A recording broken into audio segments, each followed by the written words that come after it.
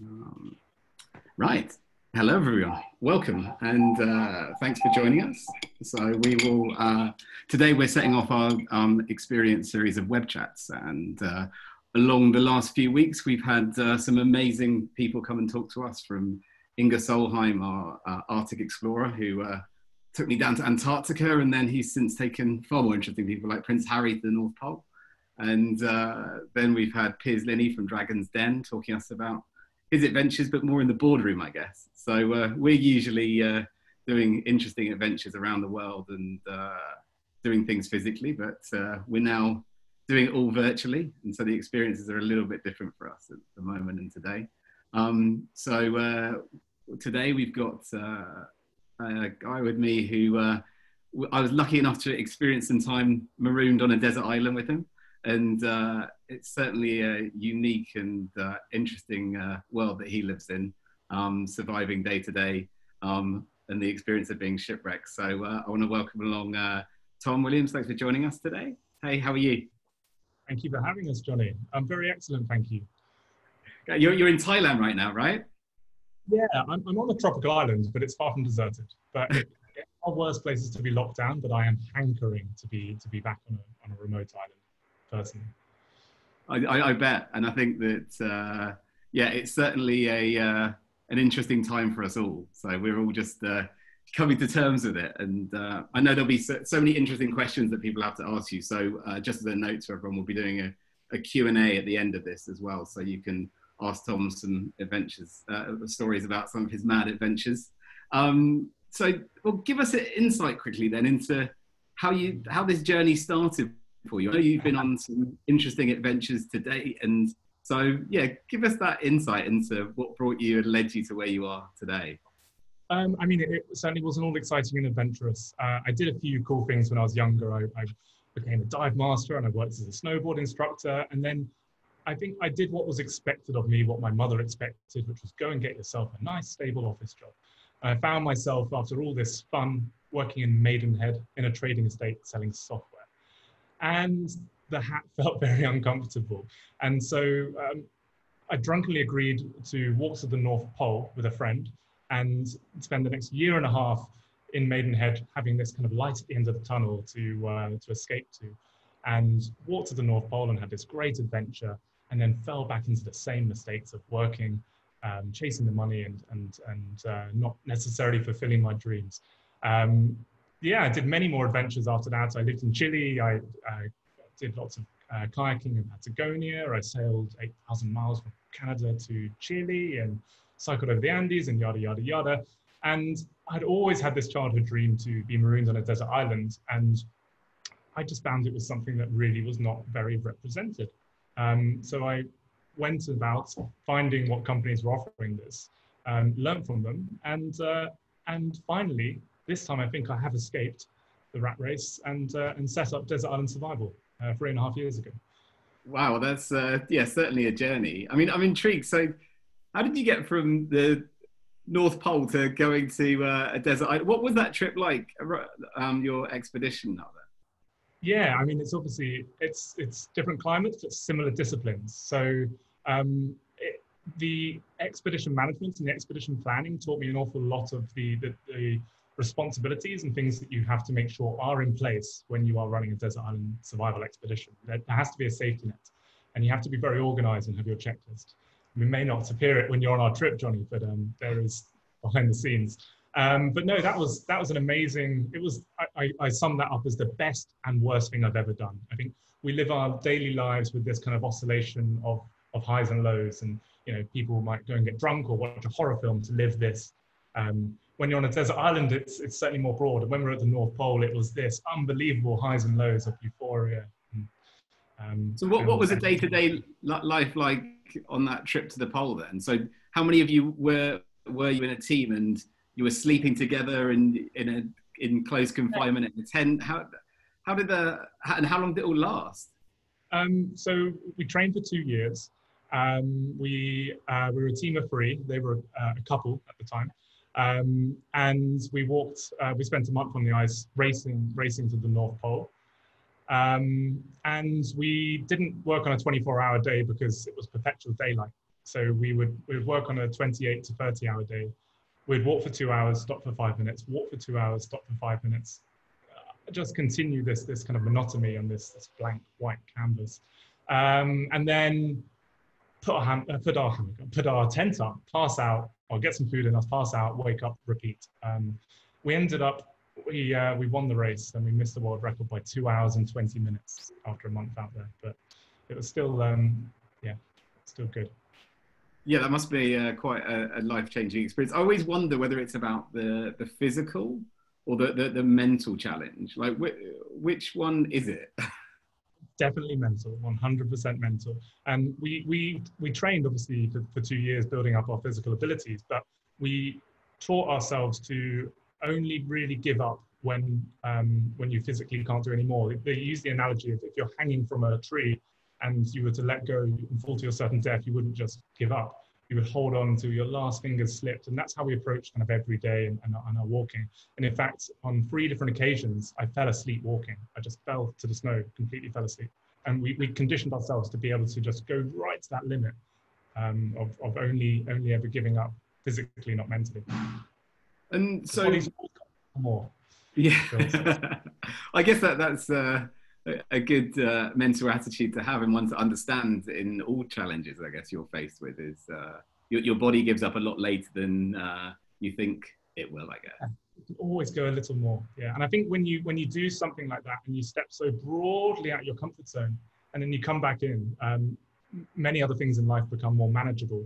Um, it's almost like that elasticity of, of, of, that experience and you can rationalize things a lot better I, I, I personally feel. So i mean we're all going through a very strange time where we're all isolated from the rest of the world. Like we're stuck in our homes. We might get the most exciting thing we do all week is uh, get to go to the shops and buy some food and see other human beings briefly. Um, although we have to stay two meters away from them. I mean, you're you're the isolation expert, no? What like what do you do you mind isolation? How do you feel about it? Like, I mean, I'm, I'm I I I quite like my own company and quite a lot. I'm, I'm with my wife and, and kid here, which is wonderful to have so much family time, but not being able to put our child in school, it, it is draining. I was woken up at 4.30 this morning and I'm very tired. Um, but no, I, I think there are many aspects of our island expeditions that you can apply to this, um, this challenge that we're all experiencing right now. Um, I think one is to, to try and have structure and routine to our days. We, we normally have our, maybe our commute or our time at the gym and the office. And without that, we now just kind of drift. And I think it's really important to compartmentalize your day and to try and implement those structures that we no longer have ruling us. I think that's that's really good for our, for our mindset. Um, another thing um, is um, I think to disconnect. Like we, there's a lot of bad news and a lot of just general kind of chatter out there, and it can be um, overwhelming for us. And I think just to spend two hours a day when we say, right, from two to four, my computer, my phone is off, I'm going to read a book. Um, maybe I'm going to have a go at mindfulness or meditation or, uh, or, or, learn a new skill. Um, I think we'll never be so time rich again. And we can flip this on its head as a positive of this is a unique opportunity to be time rich and maybe to learn a new skill set and something like that. So I guess you could take that from it um, as well. Yeah, I mean, but how do you, in these circumstances, when you're on an island, like things aren't going to plan, how do you, how do you keep morale up? I guess like you're you're there with a, with, and again, same as people are now. You're there with your close friends or your flatmate or your partner, but like things get up and down. Like on an island, like you've got no real release. Like, so how do you motivate a team and things that just feel like they're going to shit? it's interesting to say about the partner. And one of the rules we had at the North Pole was say nice things. And it sounds really cheesy, but we we had this um, rule that we would always express gratitude. You know, every time someone did anything for you, uh, we would just say thank you, thank you, thank you, and without being you know uh, sycophantic.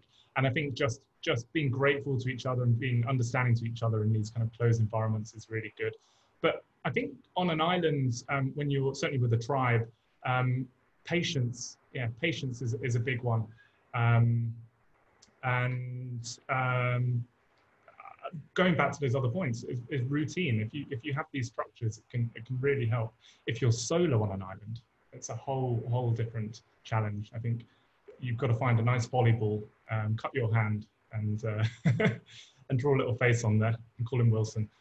well, I mean, that is another thing. Is like obviously um, you've done trips with people where you're managing small group dynamics of people surviving together, but how isolation on your own that's that's that's a full new level. Like isolating with a few people like and you've got you, you can have conversation but how do you not go crazy when you're on your own? You genuinely do. We're, we're such social animals and we're, we're pre-programmed to live as a tribe and uh, it is detrimental to us you will suffer the consequences many of us can't go for more than um, you know a three to six month period without without human contact um, and genuinely, things like talking to yourself are good for you in those situations. On our expeditions, after five days of training, we have three days where um, you have to survive with the skills that we've taught you. And we do give people the option to do that bit solo. And, and when was the last time you spent just three days without talking to another human? It's, I mean, that in itself can be quite an introspective and profound uh, experience for people. I, I guess that that's, again, it goes back to this people have this perception that all these adventures that people do um, uh, are about how well they train the Olympians, the physically fit, but it it really is this this mind game that you're playing. So, so can I guess anyone can really come and do quite a lot of these experiences as long as the, the power is in the mind, no?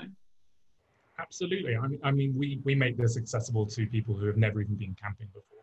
Um, we start it off as very much survival light and we spend five days empowering people till they feel ready to, to really take on the, the true survival situation little more than a machete but ten, it, as, as you say the most important thing is the mindset people come into this with um, and in, in true survival situations there's numerous uh, accounts of um, of for example there's these uh, sailors um, who a ship went down and they had two life rafts, identical situations with uh, same amount of men, same amount of rations. One was the captain who could not get over the loss of the boat going down. The other was the first mate. The captain capitulated. The first mate put in routines and they, they looked after themselves and he played morale games and, and kept everyone talking. Um, by the time they were rescued after just 12 days, the, the captain died the, the, final day and the rest of the um, uh, the, the, first mate was was absolutely fine, and it's just there's some there's some extra, extraordinary examples of um, of how much mindset in exactly the same circumstance can play out to to one person perishing and others surviving. Yeah, that, that really does show the reality, I guess. I mean, so when you're on, on an island, is there contact with the app? like how's how's you how do you get off if you need to? Like, what's your uh, way of getting in contact with the outside world when you really are in the middle of nowhere in the Pacific Ocean? Yeah, we, we use Iridium sat phones. Um, so we, we, we have that, that contact if we need to. And we, um, we have like seven different numbers that we will call and, and degrees of escalation if we can't get hold of the first one. um, luckily, we've never really got past number two. Um, and yeah, no, we have our uh, evacuation strategies in place and ready. Um, and when the solo person goes into isolation, we also have them ping us every every 24 hours to know that they they are okay. Yeah, they, they can't call you if something goes wrong with them. So I guess yeah, you, you will find out soon. Um, so I mean, you've done trips in in just off Panama in the Pacific. Like um, I know that's where um, Bear Grylls The Island was filmed out there. I mean, is that show as it looks on TV? Like, what what does that really look like? Um, I can't speak so much that actually the, the, the, the, ones with the contestants in. As far as I'm aware, that they are relatively correct. Um, I don't want to badmouth Bear or, or Ed Stafford or any of the, uh, the other um, presenters out there, but there is a lot of fabrication. Let's just say they've normally got a supply of Snickers and a nice warm tent that they can uh, they can get themselves into when they need to, and a bottle of rum. So, I mean, what's the worst situation you've been in? I mean, like, and I feel that a very simple situation um, can get out of hand very quickly when you don't have the comforts of the modern world around you. So, where, what can you tell me when it's really all gone a bit wrong? Yeah, Uh, I mean, there was a horrible moment on my uh, still learning the ropes. I mean, I'm always going to be learning these skills. It's very much a rule of 10,000 hours. Um, and I, on my third expedition, I was, uh, it started to rain. We, we went in, in, wet season when it's quite a hard time. There's lots of insects. We don't normally go in the wet season, but it was a, a private group who wanted to. Um, and I, uh, I was cutting some bamboo late at night to reinforce the shelter on the very first night, and my machete slipped. Uh, it was extremely sharp, things sharpened before the expedition, and it, it went through my uh, flexor tendon on my finger. Um, and uh, instantly, the second it happened, I knew that I'd cut really deep and it was serious. Uh, and I mean, I almost went into shock. I pretended everything was fine. I have to remain stoic. And uh, I've got eight people who, have, who have just got into this situation. They need the trust and dependability that their instructor has everything covered. And I had to just pretend everything was fine. We always have an assistant instructor on our expeditions since that trip.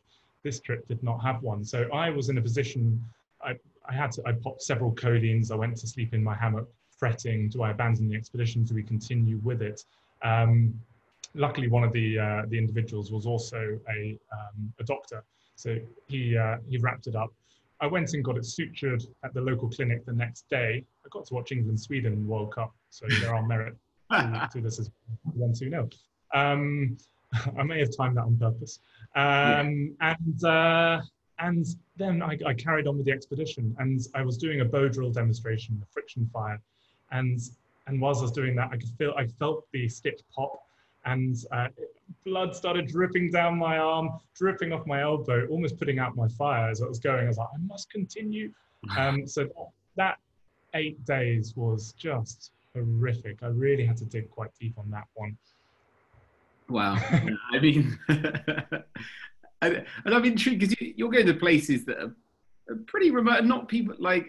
I mean, my experience of going to these third world countries and places that aren't really set up for tourists. There, there's some weird stuff going down. I mean, have you ever felt kind of in fear of your life and felt that there's men with guns or like drug smugglers coming through the night? Like, what's going on on these desert islands? like, uh, I mean, I like the that we, we have like a very extensive checklist of uh, requirements for our islands. Um, we look at it as the Goldilocks zone where it has to be near enough to tourism um, that we can get there with our clients, but, um, and there's a clinic, but not too close that you've got you know tourists turning up on the beach and uh, um, and the illusion of being maroon ruined. Um, in and when we take those considerations, another one is things like pirates. We can't use the southern Philippines. There's some beautiful islands down there, but we just simply can't go there because there's, there's still piracy and terrorist cells there. Um, and in Panama, we do also have to be mindful. We have to make sure the police know that we're there because if they see a fire on, on the beach, they will assume that perhaps that's uh, narcos who are trafficking up from, from Mexico because almost every single route is, is, taken across the Central American isthmus. So, um, so yeah, it's we, we've been fortunate enough never to. We have had the police turn up with AK-47s. Was, there was a little little bit of a standoff, but they, they were they were fine. One of the castaways gave them cigarettes, and off they went. But um, in general, I imagine no, the we, police there aren't quite like the bobbies on the beat in London. They feel a little bit more intimidating. with huge guns. Um, but uh, again, that was quite early on. But no, we we're, we're, we're now we're very particular now on the islands, so that those occurrences do not uh, inconvenience. Yeah. So I mean, uh, you've you've set a business up out of this, but what's this experience like for a client? Like, what's that actual? Run me through how that works. I mean, I would guess I would say that oh, about 85% of our clients go on to say it was the best experience of their life. Like they, we do get ridiculously um, gratifying responses from from our castaways. I think I think we we live this life now where we shut ourselves off in our in our houses or in our cubicles at work, where we you know commute with our headphones in. As I said, we're, we're very much social animals, and we live within these concrete jungles we, we've created with us, almost these prisons which are so unnatural to how we lived just 10, 15 generations ago as a primal human in a tribe surrounded by nature. And I think when you take people out of that and we do live connected with, with a group of people immersed in nature, something really profound happens to us. And even though there is hardship on our trips, like you're going to get some sunburn and you're going to get some mosquito bites, people really afterwards feel like a weight's been lifted off their shoulders. Like they they really feel like they've almost reconnected with that primal human again. And uh, I think that's that's what I, I love about it, and, and and seeing seeing that happen to people. I've also seen people hungry on the final three days and this kind of shiftiness in their eyes where they see a flicker in the water and like they've awoken something to eat within them that's been sleeping for so long. Um, yeah, I think that's that's really cool. So, so how are you going on all these trips? How much time do you spend stuck on a desert island on an average uh, year? More, Jonny. Um, I I've got a wife and kid, and the rule is five trips a year. So I run five expeditions, and I also do some scouting to find new islands as well. Um, but no, we have other instructors. We have a chap called Tom McElroy, who's amongst the best bushmen on the planet. He, he's when you watch Ed Stafford First Man Out, he's the guy behind the camera handing Ed the, the right stick to rub together, and he's the power behind the throne there. Um, and our, our, our, instructors, yeah, they're ridiculously talented bunch. He's taught me um, so much of, of, what I've learned. Um, that wasn't the question. I just digressed. What did you say? well, I mean, what, what's the what's a day in the life like though when you go? So you, you're you're arriving from an airport somewhere normal and then transitioning to a, a, crazy location in the middle of nowhere where you take everything away from people. Yeah, I mean, in places like Tonga, it gets more and more rickety and remote, and the further you go down that rabbit hole into smaller and smaller island, um, we, we like to try and find uh, a nice kind of boutique hotel to start and finish in. Um, a four-star hotel becomes an eight-star hotel when you come off the island. Um, and uh, and yeah, we, we start that first day with an expedition briefing, everyone meeting each other. Then the next morning, we load up into the speedboats and head out to the desert islands. And it feels alien. Like it just feels this is the land of the crabs. Um, this is not home. And that first day, we build the shelter. And it's amazing the psychology when you get a roof above your head, how much suddenly the next morning you wake up and like, oh yeah, this is, this is my home. Um, and uh, and yeah, for the next five days, we we sleep in hammocks. We um, we learn the skills together. We, we have a lot of fun. We pass a bottle of rum around. We we play games. Um, we teach people how to make fire by friction, how to open coconuts, catch fish, until the final three days where they basically have uh, a ration of water, a sat phone, a medikit, um, uh, a machete, and uh, and off they go to to get that fire by friction and to build the shelter and survive. Then, I mean, give us like some ideas on. So, if we really are stuck on a desert island, where where do we start? We're, we're dumped there. We we've hmm. we, we've just survived off the the plane crash. We've crawled to the island. We've got a few of us there together that have survived. Yeah. Well, and, and you're leading the troop. What happens next? well, the first thing you do is we all turn out our pockets and we see what we've got to work with. Hopefully, someone's a smoker. Um, if, they're not a smoker, hopefully one of them's short-sighted and they've got a strong pair of bifocal lenses, and we can get a fire going with those. Um, it, I, I feel like that, that's uh, does that really happen? Is that quite an easy thing to get a fire started with some glasses? It is the easiest way. I mean, there's lots of other ways of making magnification fires. You can use the bottom of a bottle. Um, you can use a, a, bag full of water. Um, you can um, but, but yeah, glasses will, will always work better better than most. Um, if, if I'm there, then we're okay. We're going to be able to get a friction fire because one of the nice things for us is we have the same species of, of wood um, all over the world. They tend to be drift seeds, and so they populate um, every desert island really within the Tropic of Capricorn and Cancer. So we can find some hibiscus and we can make a hand drill fire pretty easily.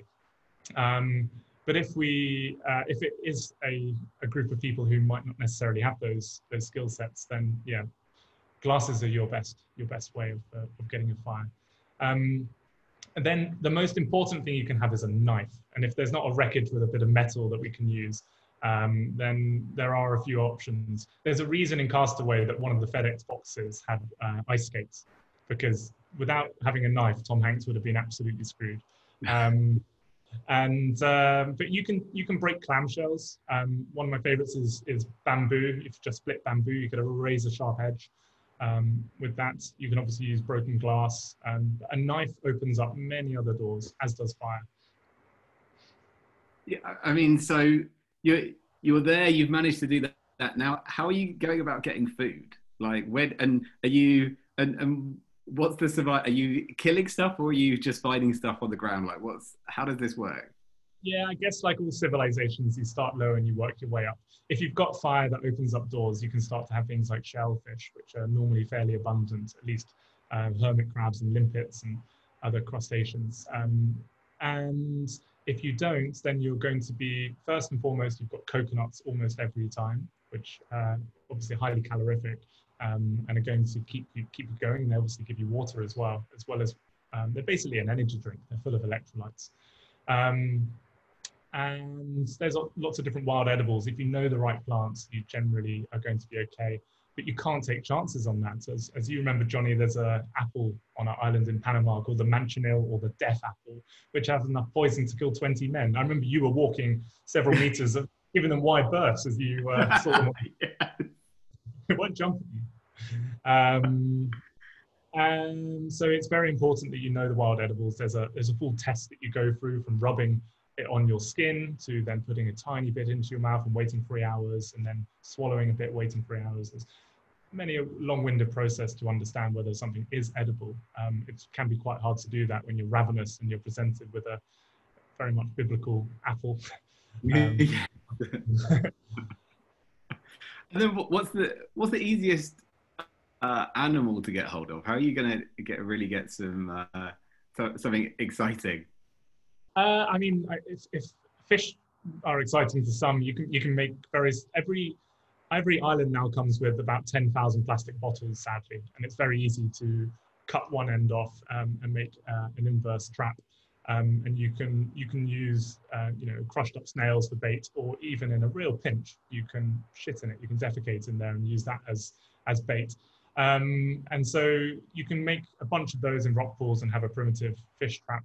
Um, if you, depending on what, what you have on the island, we can also make a snare from hibiscus bark and use a coconut as bait.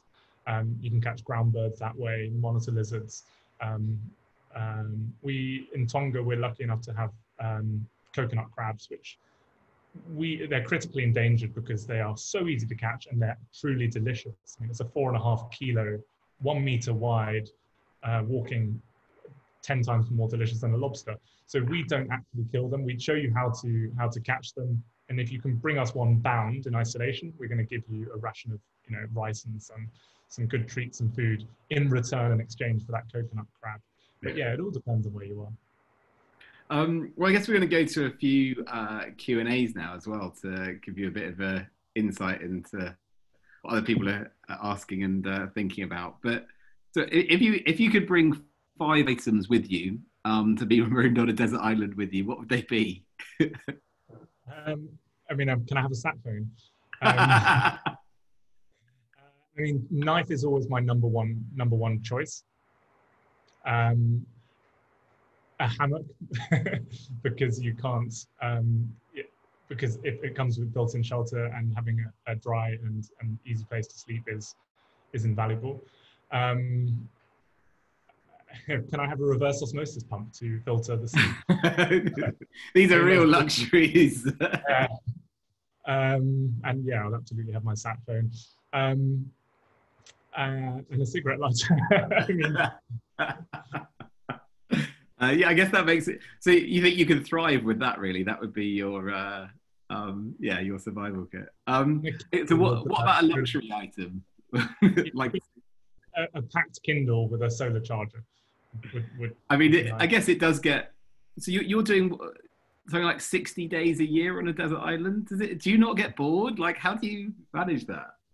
I, I mean, during the expedition with with the clients, the first five days, I don't stop. I mean, it is truly exhausting and it's it's wonderful. But once that those five days of working at like a you know 100% capacity are over, I need the first day of when people are in isolation just to decompress, and then I have two days to um, to practice skills um, and to read my read my book. It, I, I, I would double that time every time. I, I absolutely, I I'm almost seldom happier than when I'm on an island. Wow, I guess that that's the the situation we're all trying to understand now. I think that often people need to get back to a bit more peace and calm, and yeah, be a bit more mindful, like you say. So you get a great amount of time to do that, I guess. Um, yeah. What would you say your the three most vital survival skills? I mean, it feels like a bit of a cop out, but, but your your brain is the, the big one. Your brain is that survival Swiss Army knife. The skills and knowledge that you have uh, internally are going to make the difference between between life and death, and also just generally having that mindset of optimism or belief that you are going to be rescued again makes a difference of um, when you when you read stories of, of many other survival tales. Um, uh, what was three three other sorry. The, the, your skill sets. So what are the skill sets you need to I mean, it's, not die? I, I, on on top of that so specific skill sets of um, of, of making fire and knowing knowing where to source water and knowing where to source food really. It, it all it all is entirely knowledge really. Um, I, I, mean that making a friction fire is is a nuance as, as you'll can you'll uh, i can tell you that took me a while. It looks very straightforward but there's so many idiosyncrasies to making um, to making a friction fire a bow drill fire. It's just one of those things you've got to practice practice practice um, with a bit of guidance and, and knowing that the kit is right before before it's going to work for you Sure. Um, and then, uh, which desert island has been your most enjoyable? Um, I will always love the, the, Panama Island because it was where this whole thing was, was born, and it's where we. Um, it will always be my nostalgic island. Um, it, it, it's it's very special. Uh, the island in Tonga, if I if I had to choose one to, to go to, it, it is the Tonga one, just because it's just. I mean, there's more um, layers of turquoise and, and, neon that you knew existed. It's truly stunning, and we we swim with humpback whales on the first day as well. So it's like it's it's just a, a double bucket list experience. It's a beast to get to. Um, we mostly only get Australians and Kiwis make the journey because it's about 35 hours from the UK. But overall, the Tonga the Tonga Island is the one the one for me. Um, and then uh, I guess it's a good one to finish on. So, what are you? Um, oh, hang on. Sorry, where are we? Um, what what personality or mindset shift takes place um, for those which return to a normal lifestyle after this adventure? It's a great question. Um, so we've, I had a guy called Jason who um, is like 27, little rebellious, um, who uh, just wanted to get drunk and didn't want to learn the skills. His friend had suggested coming on this trip, and afterwards he ended up making significant life change. He's ended up, he's run four marathons um, since. He's now uh, like become, he's now working his passion. He's becoming uh, an environmentalist. Um, we've seen people can use this time for, for kind of a very, it's the first time you get to really step off that hamster wheel and have that introspection for a lot of people. And so they really reassess and readdress their lives and what they want their lives to be like. And I think that that's that's really cool. I also had another guy who ended up losing something like 25 kilos after the after the trip, becoming just super motivated. So we've seen some real like motivational changes in people. That's wow. um, it's yeah. been really nice.